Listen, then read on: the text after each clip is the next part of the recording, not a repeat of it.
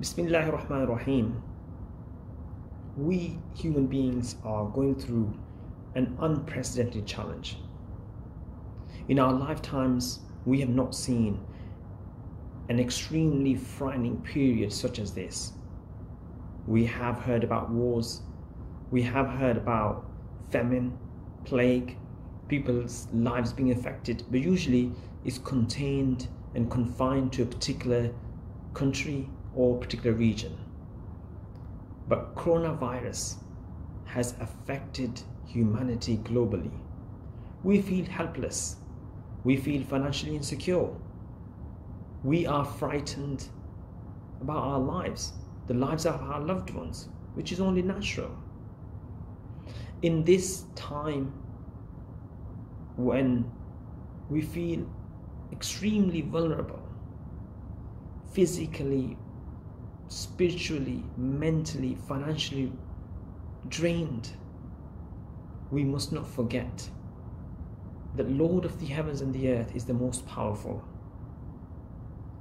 He says in the Holy Quran, من ورقة إلا يعلمها ولا حبة في ظلمات الأرض ولا رطب ولا يابس إلا في كتاب مبين. That nothing happens in this world without the will of Allah subhanahu wa ta'ala. لا يكلف الله نفسا إلا وسعها.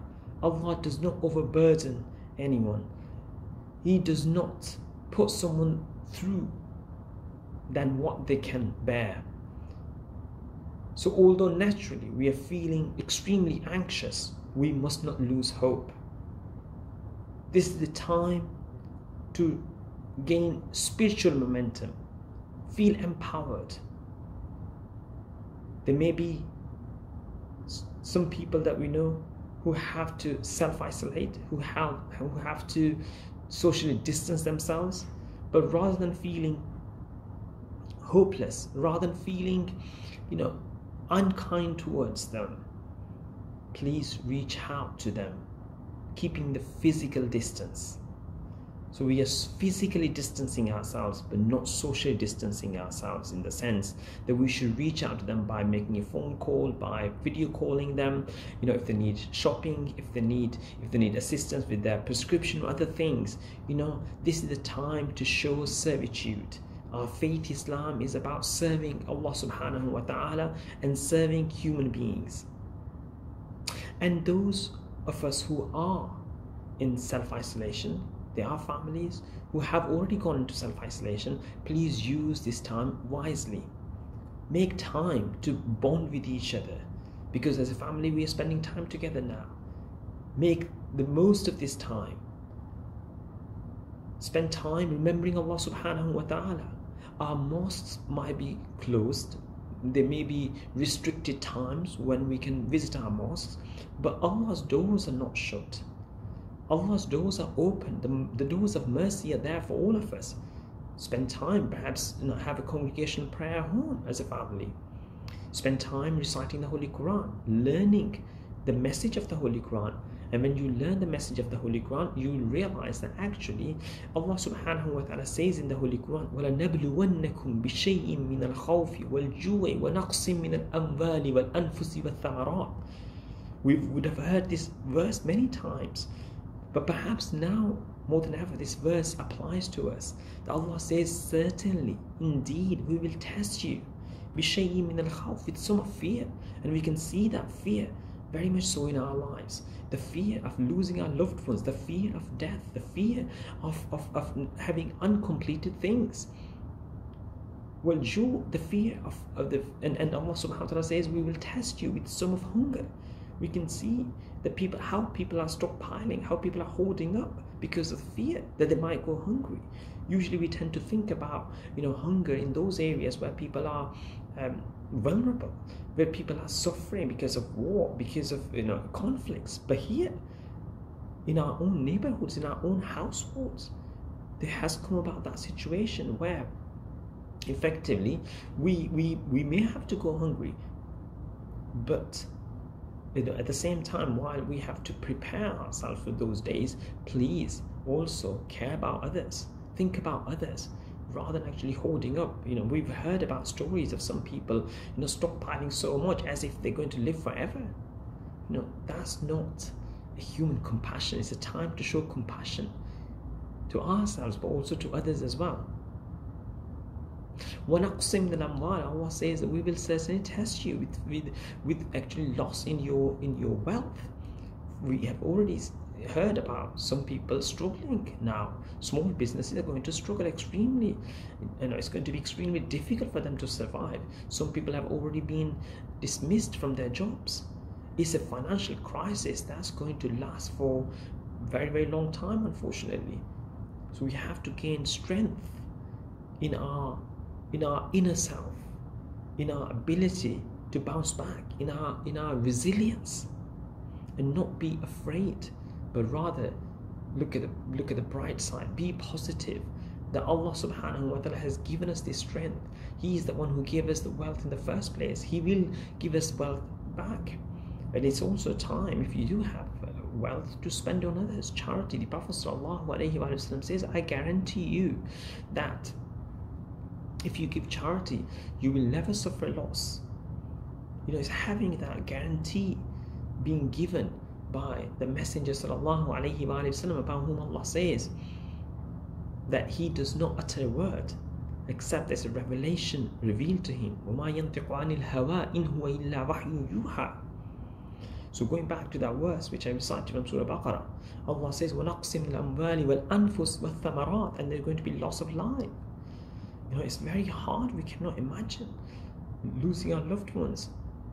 But this this this coronavirus, this pandemic, that's going to grip us in more than one way. We may have to lose our loved ones, preparing ourselves for that, but also preparing for death, realizing that one day we have to meet Allah subhanahu wa ta'ala, we have to leave this world. What have I done for that? يا أيها الذين آمنوا اتقوا الله ولتنظر نفس ما قدمت لغد واتقوا الله Allah says prepare yourself you know but ask yourself what have you done for the next world this this this coronavirus crisis this pandemic has really you know given us a wake-up call to so many of us you know that life is very short life is fragile how you know last week we didn't think that we would be in such a state where you know public spaces are being closed down where our mosques are being closed down where you know schools are being closed you know where you know, you know corporate entities are having to look look look look and consider new ways of serving their clients. It's, it's, a, it's a unprecedented challenge in whichever way you look at it but Allah subhanahu wa ta'ala also gives glad tidings, says, those who will be tested, all of those things I mentioned, including you know, loss in one's in, in fruitful uh, things. Now Allah says, give glad tidings to those. Why is Allah subhanahu wa ta'ala saying give glad tidings to those? Because there's those who are patient. Because Allah says, Inna Allah Allah is with those who are patient. So this is not a time to quarrel with each other. When you're queuing up to get some food from supermarket this is not time to physically to to to, to socially distance ourselves uh, from others uh, uh whilst we are social distancing physically distancing ourselves as well, as well. You know this is a time to to reach out to our inner self and all those values that we preach about the beliefs that we hold. Is a time to implement that belief in our lives and turn to Allah subhanahu wa ta'ala. Make tawbah, make no repentance. This is the time to reflect on, on our life, but also think about that we're all going to leave this world. What have we prepared for that world? Asking repentance, forgiveness, that any one of us can be can be can end up in a situation where we might be affected by coronavirus, by COVID 19. And those who are in that situation, you know, don't think there's a punishment from Allah subhanahu wa ta'ala. It's a test and trial, and there are so many divine wisdoms behind everything that He does. Inna Allah alimun khabir. He is aware and He is Hakim as well. You know, His wisdom, we cannot reach His wisdom. So, my key message to everyone is that we do not lose hope. This is a test and like every test, we have to be mentally, physically, spiritually prepared for this test.